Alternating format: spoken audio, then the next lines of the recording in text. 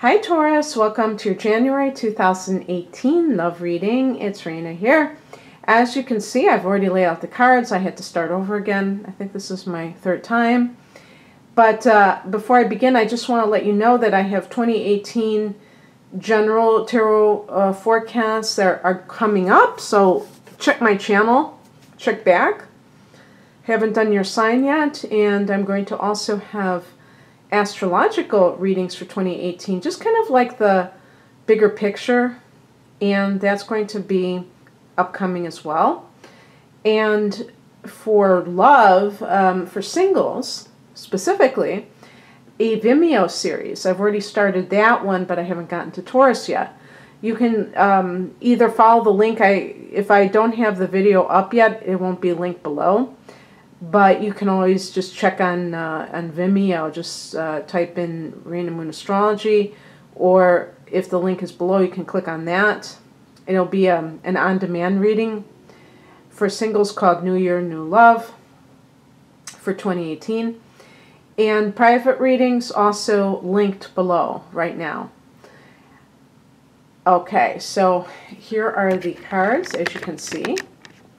And for the heart of the matter, in January, if I can grab it, we have the Three of Swords. So this is a card of feeling a sense of rejection by somebody. I feel that this, whatever's going on, this is not something that is going going to happen. This is like the the uh, per, all pervasive theme so that means that it's probably something that you already know about if this relates to your particular situation. Please remember this is a general reading. I'd still get people saying either it doesn't resonate with them or being afraid of, of something. Don't be afraid. Don't don't get influenced by a reading on YouTube. It's not you know, take this as entertainment, as spiritual entertainment. But sometimes there can be like major synchronicity. If that is the case, it's already happening. You can already make those connections. And this card has multiple um, interpretations. I mean, this can also mean three parties are involved. Maybe there's somebody who is a an air sign or they have a very airy, detached demeanor. So we're looking at Gemini, Aquarius, that's the usual suspect in my mind, and Libra.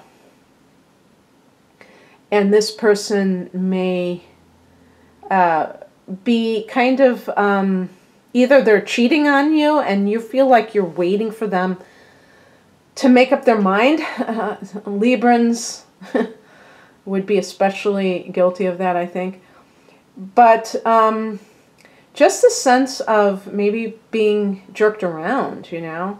Um, sometimes this can be that you've had to cut something off very uh, cleanly. You had to break off of something and you're still kind of reeling from it. All right. Now, in the past position, we have the Ten of Swords in reverse. And by the way, if you hear a lot of trains, it's because it's rush hour. And so, sorry about that. But um, I, I rarely get reverse cards anymore, and, and a lot of people freak out about re reverse cards, and, and so, a lot of, I would say, a fair number of readers don't seem to even read reverse cards, but this is a good reason to read it because this card is actually positive in the reverse position. This can be like the suffering is over if you feel like you were um, betrayed, stabbed in the back, you know, obviously that is figuratively speaking by somebody, you've gotten over it, okay? And so that Three of Swords, um, you may have gotten over the shock of something. And that's why I think that in January, you already know about this. This is not something that's going to happen because in the past position, we already know that you, you have kind of recovered from this. So you may just have um, been the one that was cheated on, and you're like perfectly detached enough to let it go. And that's what that Three of Swords is, where you're, it's like a clean break. with a fixed sign like Taurus, there is a tendency to kind of cling uh, to the known quantity, even if you're unhappy in a relationship because you don't like the change. You like that familiarity. But you may have just gotten to the point where you've healed enough that you're just, you're like, yeah, I don't love this person anymore after they did what they did. And you're done. And it's like, no muss, no fuss. It's one of those deals. And that's, to me, that's like the greatest possible uh, reaction to something is this feeling of like, yeah, whatever, I'm, I'm, I've moved on. That So that could definitely be what's going on. But I do get a card of still this dilemma, you know, decisions, decisions, because this is a two, and this is for the present tense. So this is like the Two of Pentacles. Now, for some people, this might involve a job offer, and you're uh, mulling it over because it'll take you far away from home. But there's that attraction in that because you know that you can get away from this mess and all of the heartbreak and all of the memories being triggered every time you go to a certain place. Um, but there could be this juggling act of two different people um, I'm trying to think if any of you would be the ones that were juggling two people. I don't know, because it seems to me that you're the one who got your heart broken. So, unless it's that if it was somebody that was a coworker and um, you're debating changing jobs, I suppose that could be a possibility too. Or perhaps um, you're the earth sign, so Pentacles relates to that. Maybe that person is juggling two earth signs. Now, this is one of the reasons why I do occasionally do singles readings because it seems like I'm always talking about relationships, either past or present. So I just happened to notice that, that I lapsed right into this.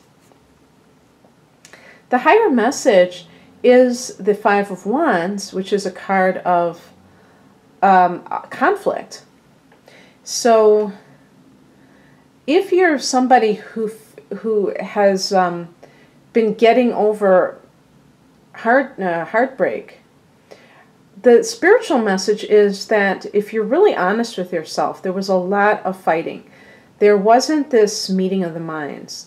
And when I see a card like this, being of the fire element, um, it can indicate someone who has a sexual attraction, but the everything else is like totally incompatible.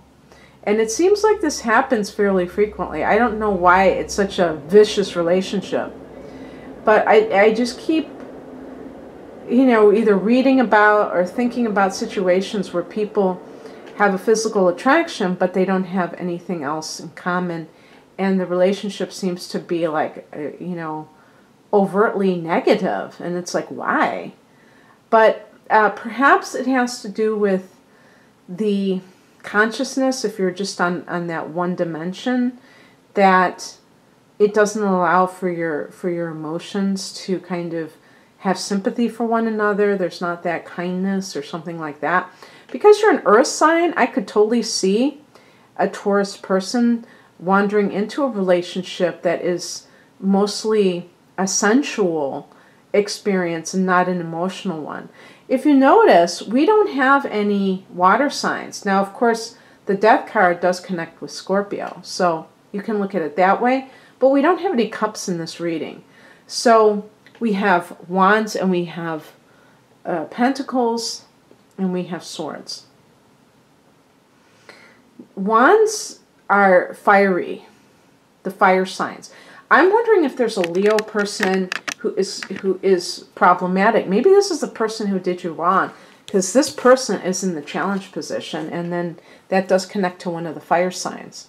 And it's a fixed sign like you, so I could see you attracting a Leo person into your reality. With this person, you know, and looking at the strength card in reverse, this person doesn't add to your life. This person actually um, saps your, your strength.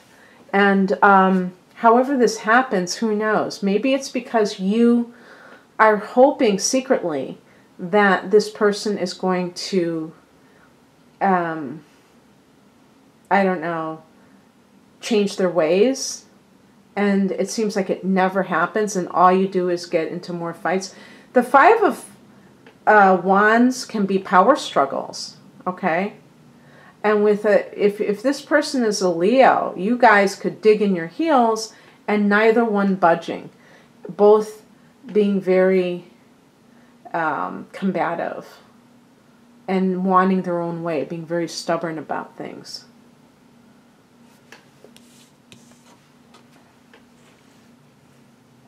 The advice or what is coming in is represented by the death card.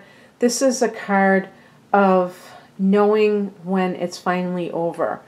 The ten of the ten of swords in reverse is similar to this, where it's about recovering. Um, the number ten is the end of a cycle, and in the reversed position, it's like, uh, you know, it, it is possible that with the reversed card like that, with the ten of swords, that it's refusing to understand that you have hit bottom with this person and so that is something to keep in mind that maybe you are still hanging on, and that's why the Three of Swords is in that focal point position.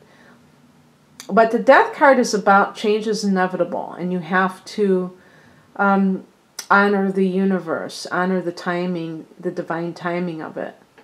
And you may still be kind of clinging, holding on with your fingernails to the situation and not wanting to really let go and surrender to it. And it's amazing. Once you surrender, everything starts to work in your life. When you are resisting, that's when a lot of the problems occur because things can't flow. You know, they say, you know, go with the flow. That's because uh, resistance is going upstream and trying to stem the tide, trying to do something that's unnatural for whatever the timing is of your life. And some of that timing you can't do a damn thing about. It's beyond your control, it's beyond your pay grade. The outcome is the Emperor. I'm thinking that for some people, this is uh, some kind of decision to get a divorce. So it is possible that you've been putting up with this crap for a long time and you've been resisting this change. And now you have like this clarity, you know um, that you need to do something because it's just wearing you down and you can't take it anymore. And so um, the emperor could be something like that. And I think that um, it's somebody who's an official, like a like a judge, who makes these decisions. Now it's interesting. The emperor has a sword himself. What does the sword represent? And I'm asking you. I'm assuming because I haven't studied, uh, you know, besides the astrological connotations, and actually the sword, the the uh, emperor is connected to Aries, so that is not an air sign. That's a fire sign, like the Five of Wands. But um, I'm thinking that the sword represents truth, and um, so it's about really coming to terms with the truth of your situation and seeing how there's a lot of disharmony and how you want to move on. So I see in this reading, Taurus, a lot of kind of housekeeping issues, a lot of uh, the loose ends that need to be tied up in some kind of situation. I don't see like this new uh, situation coming in for you in January. And uh, that's okay because you will have your turn uh, at some point and everything will start to get moving again. But first, some of you for who, whom this reading is resonating have to take care of business. And then you can move forward. So, anyway, I hope that some of you were able to resonate with uh, at least parts of this reading, and good luck to you. Bye.